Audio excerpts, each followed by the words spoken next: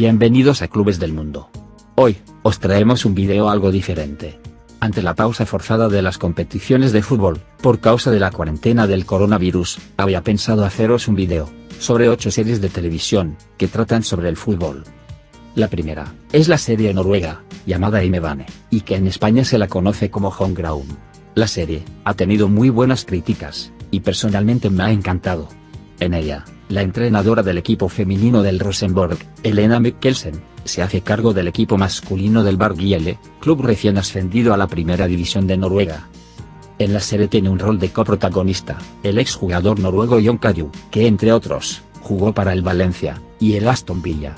La entrenadora Mikkelsen, supera las expectativas en un mundo considerado masculino, teniendo que lidiar con muchos y complicados obstáculos.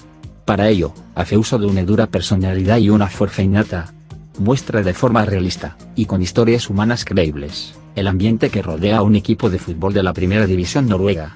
La serie tiene actualmente dos temporadas. La segunda serie que recomiendo, se llama, The English Game, conocida también con el nombre de, Un juego de caballeros. Esta serie inglesa, de reciente creación, es una miniserie histórica de televisión, de seis capítulos, en forma de drama deportivo, desarrolla los orígenes del fútbol moderno en Inglaterra, en la segunda parte del siglo XIX. Nos habla de los inicios de la FA Cup, la Copa Inglesa. Nos narra el enfrentamiento social, entre un equipo de caballeros adinerados, como es el Old Tonians, y un equipo que surgió de la clase trabajadora, como es el Darwin, y más tarde el Blackburn. Al principio, el fútbol era un juego amateur, dominado por los equipos de clase alta, que inventaron sus reglas por supuesto, un poco más adelante sabremos, que hasta 1879, ningún equipo de clase trabajadora había llegado a los cuartos de final de la Copa Inglesa. Una serie muy recomendable. La tercera serie, tiene por título, Pelotas. Es una producción española del 2009, y que consta de dos temporadas. La serie narra con humor, y también con la suficiente seriedad, la vida cotidiana de un grupo de amigos, que se encuentran los domingos por la mañana, para ver al Unión Fútbol Club, el modesto equipo de su barrio. En la trama, se relatan las historias del presidente, su entrenador, los jugadores, y todos los familiares y amigos, de este humilde club. Según el director, nos dice, que le gusta contar la historia desde la verdad, que el espectador se sienta identificado con las pequeñas miserias, victorias y derrotas de la vida cotidiana, a mí personalmente me ha encantado en esta serie, y está disponible en la web de Radio Televisión Española. La cuarta serie que os recomiendo, es la serie argentina, Apache, la vida de Carlos Tevez.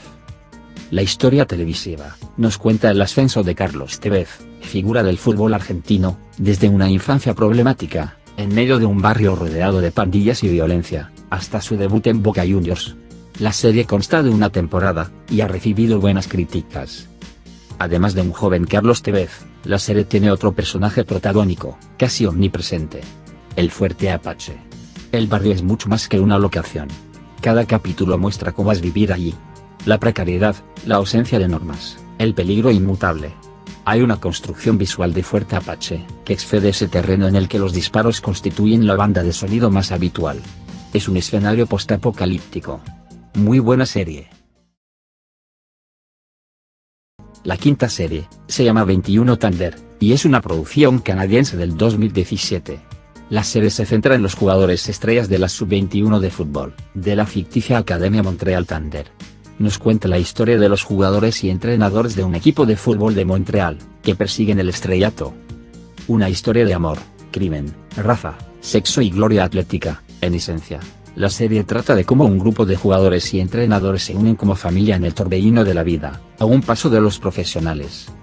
La crítica comenta, que la serie se las ingenia. Para evitar todas las trampas típicas del género, por centrarse en el fútbol antes que en sus grandes estrellas, en jugadores jóvenes con grandes aspiraciones y en leyendas potenciales. La sexta serie que os recomiendo en mi canal, es Club de Cuervos. Es una producción mexicana, que ya cuenta con cuatro temporadas. La serie inicia con el fallecimiento de Salvador Iglesias, presidente y dueño del Club Deportivo de Primera División Cuervos de Nuevo Toledo. Tras su muerte, sus hijos Salvador e Isabel, deciden competir para hacerse del control del equipo. Las fricciones entre Salvador e Isabel aumentan, mientras el equipo se desestabiliza, afectando a los miembros de la directiva, los patrocinios, las relaciones entre los jugadores, e inclusive arriesgando el descenso de división. Es una semblanza de los conflictos que se suscitan en un club deportivo, visto desde el punto de vista de los altos mandos.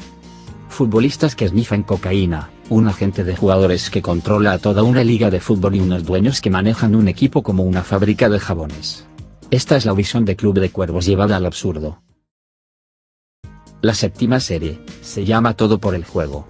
Es una producción española, del año 2018 basada en la novela de Javier Tebas y Pedro Torrens, Todo por el juego, describe el intrincado mundo del fútbol desde dentro, sus conexiones con la política local, las mafias de las apuestas, los jugadores cómplices en el amaño de partidos, la compraventa de jugadores extranjeros, y el creciente interés de las mafias internacionales por los equipos de fútbol de la segunda división española.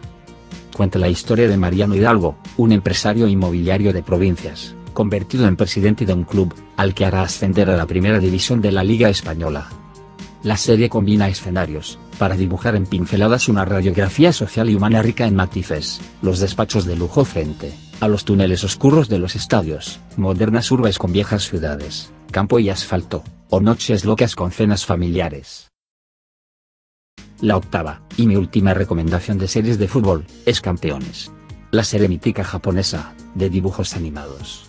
Muchos hemos crecido con esta serie nipona, con la magia que desprenden jugadores como Oliver, o Benji, o aquella final mítica, entre Alemania, con el jugador Afo Schneider, y todo el equipo japonés de Oliver y Benji.